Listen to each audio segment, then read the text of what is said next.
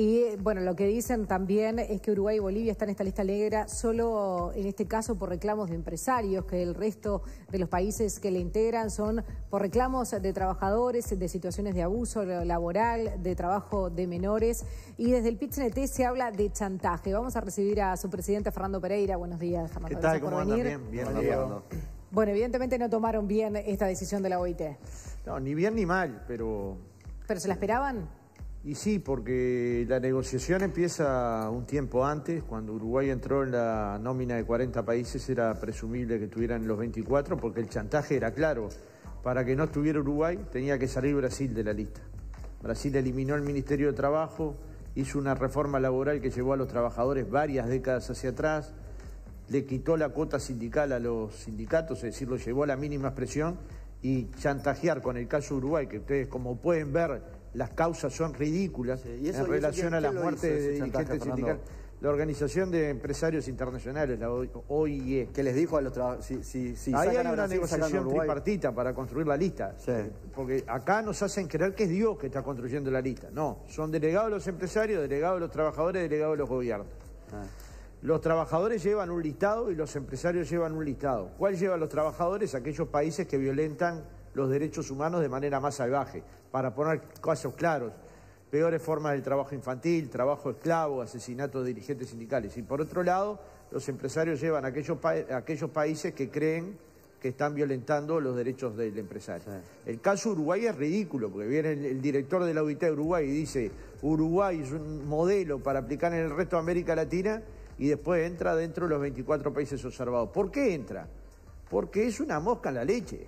No es por otra cosa, porque el tamaño de Uruguay es un tamaño insignificante la OIT. Nosotros no estamos afiliados como PICNT a ninguna organización internacional de trabajadores, con lo cual eso también es una, cierta debilidad. Sin embargo, se lo coloca por el tema de ocupaciones. Como yo ya lo he dicho en este programa, en el año pasado, en el año de mayor negociación colectiva, hubo 30 ocupaciones. Ayer hicimos el cálculo de cuánto daba sobre 200.000 empresas y da 0.000015. Me canso de decir cero. Eso sería un problema en cualquier orden de su casa, de su familia. Usted tiene con su hijo un problema que es 0.0015. ¿Lo coloca como un problema importante? No. El problema es que le han dado una magnitud que lo transforman en un tema importante. Bueno, lo que pasa es que para esos 30, como podría ser en el caso, eh, sé que no tiene nada que ver, pero para el OIT del trabajo infantil, que sea uno es un problema. O sea, apartarse de las normas es el problema. Los países que tienen uno no pasan ni por la puerta del OIT. Encuentran un niño, no pasan por es países que tienen la, política del trabajo infantil como una política de trabajo, ¿me, explico? Entonces, ¿cuál es el caso Uruguay? El caso del absurdo, la ultraactividad. ¿Sabe de qué se trata? De que los derechos que ustedes cobran, suponete ticket de alimentación, eh, una mochila al principio de año, ustedes, los cámaras, acá yo sé que hay derechos, mm. todos los convenios colectivos los tengas que discutir de cero. Eso es ultraactividad, porque dicho que se extiendan después de caído el convenio. Son, pero, pero dicho así, no hay nada. Ahora, para el trabajador es una parte importante de sus ingresos. Ahora, como le pones una palabra que nadie entiende, que es ultraactividad, pensamos que estamos hablando del problema de alguien en Marte. No, es que va a perder los útiles escolares, es que va a perder los tickets de alimentación. Por dar un ejemplo, la negociación de las condiciones de trabajo. Ahora algunos de los canales han decidido que los choferes de los móviles bueno, tú que tenés vasta experiencia, hmm. vayan sin chofer, manejen cámara. Yo los he visto en estos días en cosas increíbles, tratando de estacionar en Plaza Independencia, con la salida del gabinete en la puerta, no llegan a la salida del gabinete. Estas barbaridades, si los cámaras aceptan manejar por, por, por, por cualquier prestación económica, no solo se pierde un puesto de trabajo, empezás a hacer mal tu trabajo. Y cuando lo empezás a hacer mal, yo sé que lo paga. Entonces, cuando se discute en condiciones de trabajo, se discute el salario, pero también se discute cómo hacer el trabajo. Lo que plantean ahí los empresarios es, se tiene que hacer como yo digo. Y esto no es lo que dicen las ¿Qué cintura tiene el gobierno? Lo escucharon ahora. Yo entiendo, pero ¿por qué la OIT toma estos planteos de los empresarios, que es la Organización Internacional del Trabajo, y dice, bueno, hay recomendaciones que le queremos hacer a Uruguay de que su normativa se aparta de lo que a nosotros nos parece lo ideal. Y es por eso que existe la posibilidad de chantaje, porque si no, si no tienen con qué chantajearte, nadie te chantajea, Fernando. Esa es la realidad de cualquier chantaje. Cuando hay un chantaje es porque hay un elemento con el que a vos te pueden presionar, te pueden agarrar, hay algo tuyo que se aparta de lo que las normas establecen. ¿No es eso lo que tenemos en este caso? Aunque sea poquito, aunque sea distinto a lo de otros países. Lo que te digo es esto, los países se juzgan por los resultados. Paraguay no está en la lista, negocia el 20% de los trabajadores. Uruguay está en la lista, negocia el 98% de los trabajadores. Decime qué país elegís. Uruguay tiene negociación colectiva en el sector público, Paraguay no la tiene. Pero mirá que te puedo nombrar todos los países de América Latina. ¿Hacen denuncia a los trabajadores de Paraguay? Claro, el problema es que en el, listado ¿Y hay entran que 24. Paraguay ratificado que está incumpliendo? Todos. Fernando, todos se toman esa denuncia. Y todos, cuando quiera vamos juntos, te invito. No, pero no, Fernando, pero es raro lo de la OIT, entonces, ¿de quién hay que desconfiar? El listado es un listado tripartito. Entonces, colocan casos los empresarios que no entrarían en ninguna lógica, pero los colocan porque una parte de los casos lo tienen que colocar. pero vayamos al tema de fondo, lo que decía recién este Lestido, por ejemplo. ¿Por qué no respetar el derecho de los que quieren sí trabajar? Eh, olvidémonos de la lista y pensemos en, en esas cosas. ¿Qué le responde el movimiento sindical a, esa, a esos planteos que acabamos de escuchar? Eh, la OIT hace un... Primero, en Uruguay se dice que la ocupación está prohibida por la OIT y la OIT está, expresamente la permite, salvo que se transforme en violenta. Entonces parten de una base que es equivocada. dejando ingresar al resto de los trabajadores que quieran trabajar hay un segundo artículo, Hay un segundo artículo que plantea que hay... Bueno, yo quiero que alguien de ustedes se responsabilice. Yo cuando hay un lugar de trabajo ocupado, sé la tensión que se genera. Está bien, yo no promovería... Los que ocupan, no, no, no, los que ocupan no, todos. Sí, todos, está bien, todos, todos. Todos, todos. Porque ¿cuál es el derecho del que trabaja mayor que el del que ocupa? Si cuando va a cobrar, cobra los mismos útiles escolares, los mismos tickets de alimentación, los que ganó el sindicato, ¿no? En algún momento no se pondrán a pensar que esto que ganó el sindicato no les corresponde moralmente porque hicieron media hora de medidas porque no pensaron media hora en el compañero, tipo el que entregó al del camión, ¿no? Hmm. ¿Qué podemos pensar de esa persona, de ese trabajador? ¿Vos decís que el, trabajador que quiere mantenerse en su puesto de trabajo porque no está de acuerdo con el sindicato es lo mismo que el que entregó al compañero, En mi época se decía, está carnereando. Ahora si querés le cambiamos el nombre... Es lo mismo que, que, no, no, no. un delincuente. Estoy diciendo... No. Bueno, pero lo comparaste. No, estoy diciendo que algunas actitudes que no corresponden, que es si hay una huelga que es en defensa del trabajo, en defensa de las conquistas, cuando obtenés las conquistas vas y las agarrás como si fueran tuyas y no participaste media hora. No estoy justificando ninguna violencia, porque en mm. Uruguay no la hay. pero no hay que promover que las haya, no hay que promover la instancia para que la haya, porque en un lugar que está ocupado es un lugar de alta tensión. Ustedes entraron a Entonces ese derecho no se puede respetar. Y hágalo, que lo haga respetar el que cree que tiene condiciones. Hablando de una ocupación que fue bastante polémica y hay diferencias en, en lo que sucedió, es el de Pan. ¿Cuál es tu opinión ahí? Negativa. Los trabajadores cuando ocupamos tenemos varias previsiones que tomamos. Lo primero, terminamos de procesar la mercadería que está. La segunda, limpiamos las máquinas a cero, porque tenemos que entregar la mm. empresa... Acá pasó todo lo contrario. Exacto, pero lo conversamos con los trabajadores y lo conversamos con la empresa, con los dos. Y a los trabajadores le dije, y lo escribimos, una medida hecha de este tipo, más que un golpe a la patronal, es un golpe a la propia organización y ninguna medida que vaya en contra de la organización es positiva para el PCNT ni para los trabajadores del sector. Y los trabajadores lo comprendieron y lo declararon así, creo que al informativo de este canal. Sí, sí, sí, o sea, disculpas. Es decir, pudimos conversar con los compañeros mirándonos a la cara. Pero digamos, ¿alguien ha hecho la autocrítica del patrón que le pegó al trabajador en la espalda? ¿Nosotros podemos decir que todas las acciones empresariales son de ese tipo? No. Bueno, Todas las, ocupaciones son de ese tipo. Las cámaras rechazaron. Y nosotros también. Ah, está bien. Yo lo que te estoy diciendo es, se puede generalizar... crítica, digamos. No, pero solapadamente se toma este ejemplo, se viraliza el video para decir, en Uruguay pasa esto en todo, todo el tiempo. ¿Dónde pasa esto todo el tiempo?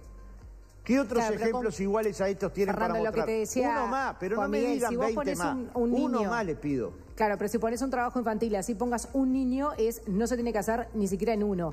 Y ahora, por ejemplo, el gobierno, ¿qué cintura tiene para hacer cambios dejando estas situaciones de ocupación? Negociamos cinco meses con Pereira y Coralo un protocolo de prevención de conflictos. Yo ya lo dije la última vez. lo rechazaron los empresarios. Bueno, por eso, pero ¿Y por qué me preguntan a mí? Si lo rechazan, las personas que le dicen, pregúntenle a ellos. ¿Qué fue lo que rechazaron? Todo todo, claro. Pero ahora los empresarios van a tener... decidir solo, no sé si me entendés. Acá no hay un problema de, evitar el conflicto. Hay un problema, como se planteó en la entrevista, creo en la propiedad privada y en la decisión empresarial unilateral. Y yo te digo, no, tiene que ser bipartita. Claro, bueno, ahí está la, la otra. Ahora, Fernando, el viernes la Cámara Empresarial puede plantear el tema de Friopan, el control obrero que se realizó también en eh, los trabajadores de Petrobras. Digo, son dos ejemplos que para la OIT basta con uno. No, no basta. Si le quiere le mando videos en el mundo de lo que pasa en las empresas cuando están ocupadas violentamente. Están prendidas a fuego, las máquinas están rotas. Uruguay es un caso... OIT va a estudiar 24 casos. Ya sé, bueno, 24 casos entre Y tiene en la lista de tres consideraciones, es decir, de tres sanciones duras a múltiples países que no van a entrar este año. Uruguay es una mosca blanca. Bueno, pero ¿por qué entonces está? Porque si hay una muchísimos mosca países blanca. que denuncian Está porque los empresarios tienen lobby acá o donde estén. Pero los empresarios de cualquier país serían entonces. Si usted va a la OIT, antes iban empresarios, Funes de Rioja, etcétera, que eran empresarios poderosos, pero poderosos nacionales. Hoy van bufé de abogados. Para encontrar un empresario en la OIT creo que va algún uruguayo. Le digo la verdad, esta, este es el gran cambio de la OIT. Que por un lado van los trabajadores organizados y por el otro lado van bufé de abogados que tienen un canon, que cobran y trabajan de esa manera. A tal punto que están objetando la OIT. El tema más grave no es ni cerca el de Uruguay.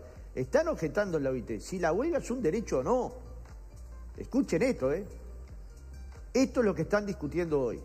Entonces, Claro, cuando llega el caso Uruguay, Uruguay titula en el diario una lista negra que no existe. Usted busque la OIT, toda la normativa de la OIT, entra a toda la... ¿Dónde está la lista negra? Bueno, se les dice a las listas... acá le decimos. No, se le dice no, acá le decimos. Ahora, ¿sabés a qué te invito, Carsolio? A que, invite, a que busques no en los 24, en los 40 países de, que fueron observados, un título de prensa donde se haya nombrado tal país está en la lista, negra. negra. Buscá uno. Es mucho peor las razones, además. Si las encontrás, yo vengo al programa 25 días consecutivos a mirarlo desde ahí, desde atrás. pero es divertido. Con lo duro que. Ahí en Folia, con lo duro. Brasil o lista preta. ¿Lo leí? ¿Demuestre? No, no existe. Fernando. Son inventos de la posverdad. Vos instalás, hay una lista negra, hay una lista negra y cuando querés acordarla ves negra, es negra la lista, los países están en blanco, te lo pintan de negro. Te lo pintan de negro. Fernando, sobre las negociaciones, que en este caso son tripartitas, se buscan que sean bipartitas. ¿Qué pasa? Yo espero por ustedes que no, pues ¿sabés lo que no quieren discutir con nosotros? ¿Cuál mm. es el porcentaje de aumento? Ahora, eso ya pasó en Uruguay, entre el año 89 y el año 2004. ¿Y sabe qué pasó con los salarios? Que muchas veces ajustaban por debajo de la inflación porque era antojadizo el porcentaje de aumento que colocaba tanto el gobierno como los empresarios. En esa negociación libre y voluntaria que defienden con tanto fervor, solo tuvieron voluntad el 20% de los empresarios. El transporte, la salud y la construcción. La salud y el transporte, ustedes saben que eran sectores tarifados. O sea que la negociación libre y voluntaria, solo el sector de la construcción. Entonces, no me pueden hablar que tienen tanta voluntad cuando, cuando tuvieron la oportunidad de ejercerla no lo hicieron. ¿no? Y esto es datos de la realidad. Y si tomás las dos décadas de crecimiento, ayer hizo un trabajo el Cuesta Duarte que para mi gusto es interesante, 89-98, 2004-2014, el producto creció más o menos igual. ¿Viste lo que pero el salario...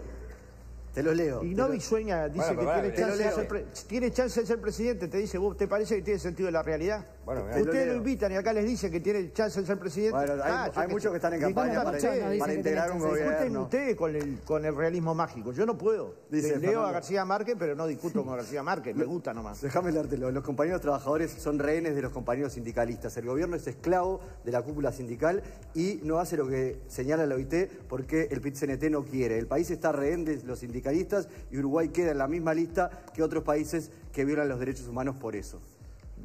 Es salvaje lo que dice, pero vamos a empezar. En su empresa hay sindicato.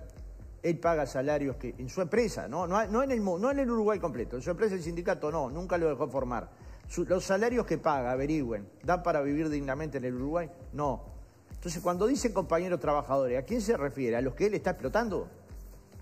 O a otro. El, el, el, el, que me digas toma al respecto, porque si, si no se puede formar el sindicato... bueno, no, no siempre se puede conformar, porque no siempre está la fuerza en los lugares de trabajo para construir la organización. Hay lugares donde cuesta decenas de años construirlo. Ahora, una vez que se construye y que se empiezan a obtener derechos, por ejemplo, hace 15 años no había sindicato de policía, hoy van a tener discutiendo el, tema del 223, del famoso 223, mm. que yo soy partidario de que se legalice.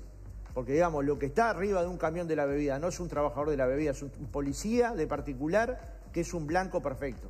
Porque tiene que defender el camión para, porque para eso lo pagan. O a ustedes no les causa un poco de escosor escuchar que por casualidad el policía pasaba por la puesta de un puesto de verdura, por la puesta de una estación de servicio, por la puesta de un micromercado, por la... Pero nos lo dijo no, acá que los contratan para eso. Entonces, bueno, si, si este es el principio de la realidad, construyamos la norma para que ese policía lo pueda hacer de uniforme, lo pueda hacer con chaleco, antibala, ah. lo pueda hacer con un handy comunicándose con... La idea por ahora es que lo haga sin arma del gobierno. Bueno, pero vamos a ver, ayer yo hablé con, con el con el Ministerio del Interior para generar una reunión rápida. Sí, lo vamos a generar rápidamente. No están de acuerdo con eso. Vamos a ver, porque nadie está de acuerdo hasta que empieza a conversar. Está bien, es verdad. Las partes siempre están alejadas. Por ejemplo, Juanchi dijo que yo no iba a hablar de los derechos humanos en Venezuela el primero de mayo. y bueno, está. Se equivocó. Tenés razón. Bien, es bueno. Bien, Igual, ahora Juanchi va a buscar todo el día la lista negra en alguna noticia del mundo. Voy, a, empezar por Etiopía.